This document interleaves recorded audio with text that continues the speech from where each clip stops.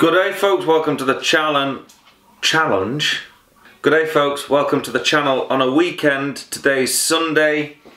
Uh, yesterday's vlog, Friday should I say, made it out late simply because I ended up going for a few drinks. Medicinal purposes for the back of course.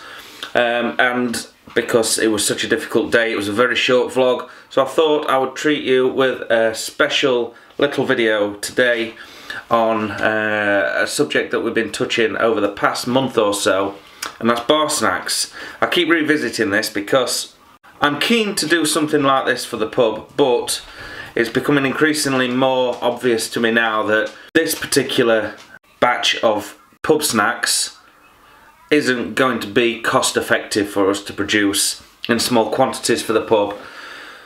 So I better tell you what they are. Right, it all starts with pig skins. So I've done the pork scratchings and I've done the pork crunch or chicharrones as they call them. Um, what else do they call them? Pork rinds. I think they call them pork rinds in the States. So they are two very different processes to achieve the scratchings and the uh, the pork crunch. Let's just call it the pork rinds. To do the pork scratchings you need to have a really good batch of pig skin with a good layer of fat on it. Uh, and I think generally it comes from the hind of the pig. But this for the uh, for the pork rinds you need to have a lean piece of pig skin and I buy this from Morrison's. I know I should really be using a proper butcher.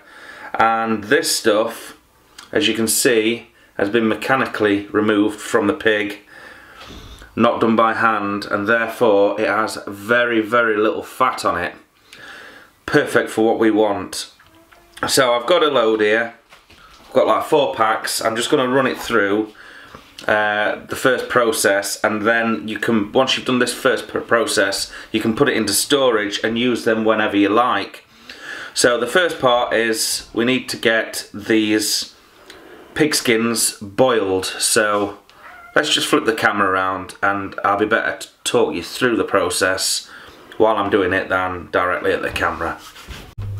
Right, so this makes life a lot easier. So first thing we're going to do is turn on the cooker. Got a pan of water on a high heat and it's a big pan. We're going to take the pig skins which don't have much fat on and we're just basically going to submerge them into the water. As many as you can fit in really for this part of the process because we want to blanch them for an hour. So it's very simple. Just chuck them in boiling water. And you don't need to salt the water or anything at this stage as far as I can tell. It's just a case of getting them in there. In fact you probably don't even have to unravel them. Just keep them ravelled up like this. Get as many in there as I can. And then we're going to come back after an hour and we're going to then cut the skins to the size that we require because it's considerably easier to cut the skins once they have been cooked. And then once that's done we'll move on to the next stage. So uh, I'm going to pause the video and we'll come back once we've had an hour of uh, good simmering for these skins. Right, we're an hour in and this is essentially what the skins look like. I could have got the framing a little bit better there. So you can see they're just completely flexible like jelly and uh, they'll be dead easy to cut so we're going to take them out, we're going to drain them and then we're going to chop, chop them up into small little squares Right, so here are the boiled pig skins. As you can see, they're very floppy and flexible and they tear quite easily, which is perfect for the next stage. Because what we need to do now is dehydrate them. So I've bought a dehydrator. If you're a sub subber to the channel, you'll know that I've picked one up recently. But you could just use the oven if need be with the door cracked open. So I'm going to take a knife and I'm going to cut up all of the pieces of rind to what I think is about the right size. Now when these are fried, ultimately they expand in size three or four times what they already are.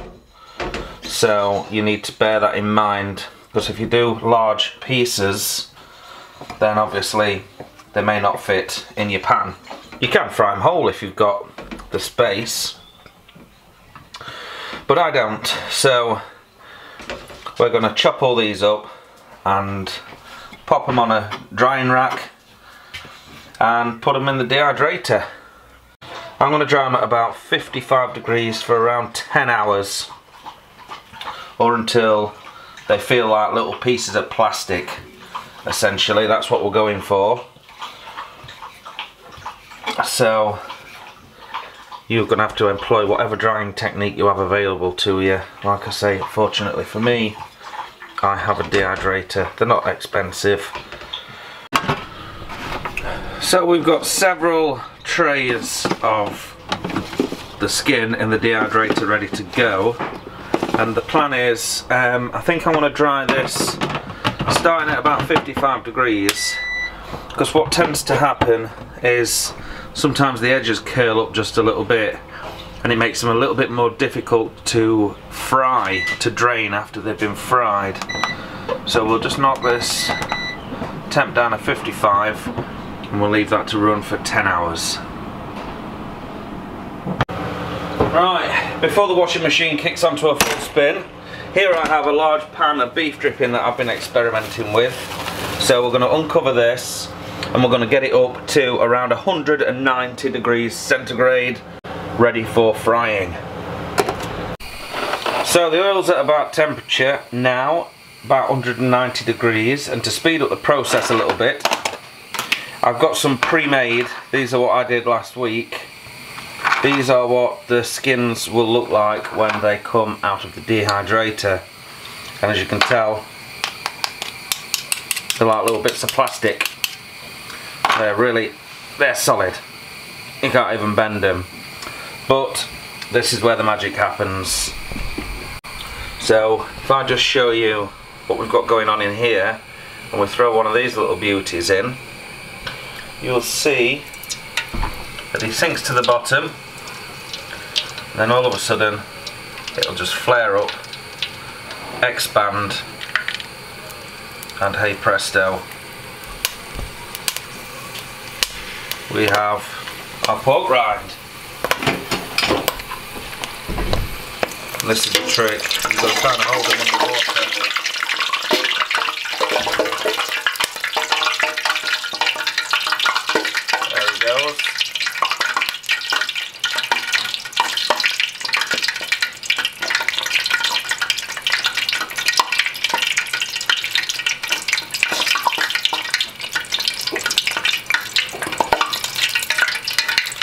there we are. So you see what I mean about him expanding considerably. That's much bigger now. So we'll drain this and I'll show you that again. For those of you who missed it. Okay. See if we can set the camera up, get a better shot without the crackling. There's a little bit of water on that spatula when I threw him in. Okay, one, two, three, four of them this time. In they go.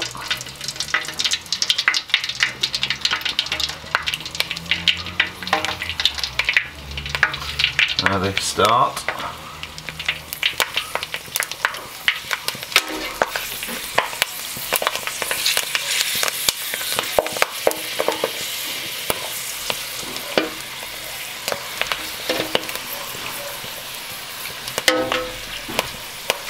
It's like magic.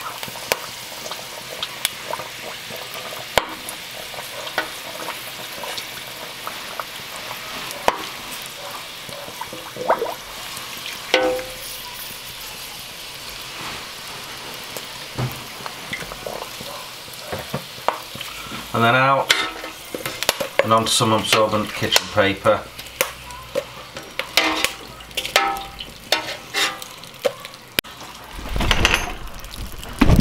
And there they are, crackling away, listen to that.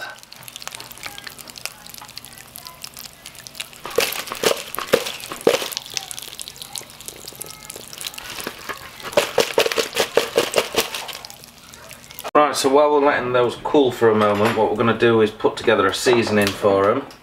So it's going to start with a good handful of salt, you'll not see that in there, obviously it's white. And then we want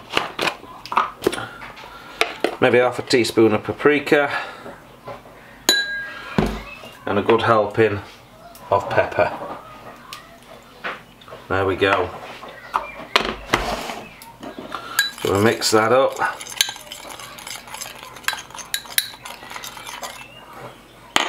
and bring in our pork rinds and we'll just dust it over the top.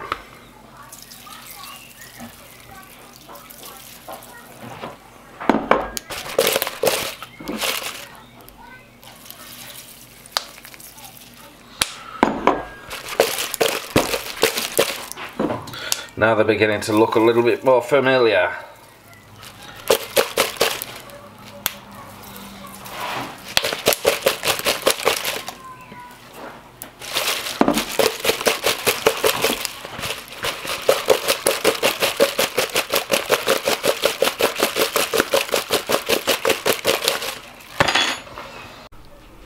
And there is the finished article.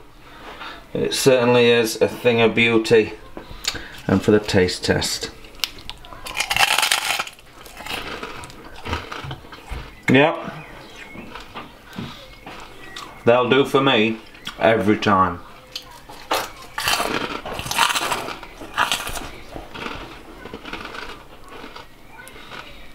So there we go, I don't want to confuse the issue too much. So a quick rundown. Pig skin, very lean, not a lot of fat on there at all. Boiled for an hour, that sort of helps cook all of the all of the fibres or whatever the skin's made up, collagen or whatever it is. Dehydrate until the consistency of plastic essentially and then cook in or steaming like searing hot oil 190 degrees as hot as you can go I've experimented with uh, pig fat, uh, beef dripping, so lard, beef dripping and vegetable oil. The beef dripping tastes the nicest but you can get the veg oil a little bit hotter if needed.